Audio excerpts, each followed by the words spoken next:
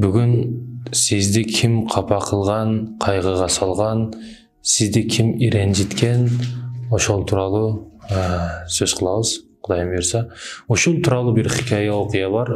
Өтө кызык балким уккансыздар балким көргөнсүздөр болушу дагы мүмкүн чоң университет залдарынын биринде профессор студенттерге өтө бир өзгөчө сабак берүү үчүн сабактын дагы сабагы болот. Сабагын бериш үчүн студенттерге кайрылып силерди ким капа кылган болсо кайгыга салган болсо кыжаалат кылган болсо канча жолу? Мисалы бирөөнү беш жолу бирөөнү он жолу бирөөнүн көңүлүндө иренип жаткан кайгылык сезими болушу мүмкүн. Ошого жараша кимди канча жолу капа болгон болсо ошончо ошого жараша помидор алып келсин дейт экен агайдын буйругунун негизинде студенттер бирөөсү үчтү бирөөсү бешти бирөөсү бирди ар кимиси ар кандай помидорлорду алып келишти баштады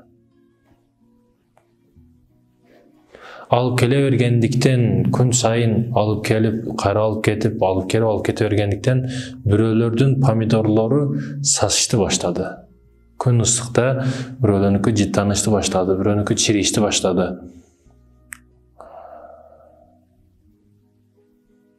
ар кандай абалда жаман болушту булганышты баштады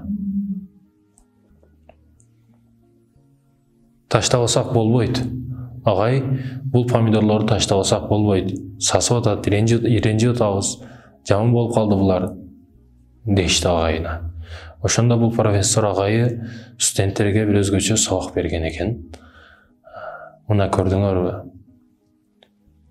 ушул помидор силерге канча жүк болуп сасып иренжитип атат силерди кайсыдыр бир учурларда силерди бирөө капа кылган болсо кайгыга салган болсо аны эстеп аны өзүңөр менен алып жүрүшүңөр кудум ушул помидорду өзүңөр менен алып жүргөн сыяктуу болуп эсептелет. Көрдүңөр үч күндө сасыды. Демек мусулман мусулманга үч күндөн ашык араздашышы капа болушу туура эмес.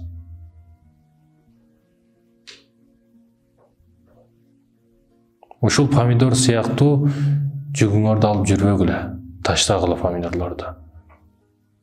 Бирөө силерди капа кылган болсо кечиргиле кечиришти үйрөнгүлө албетте бирөө сизди капа кылганда кайгыртканда бул нерсени көрүңүз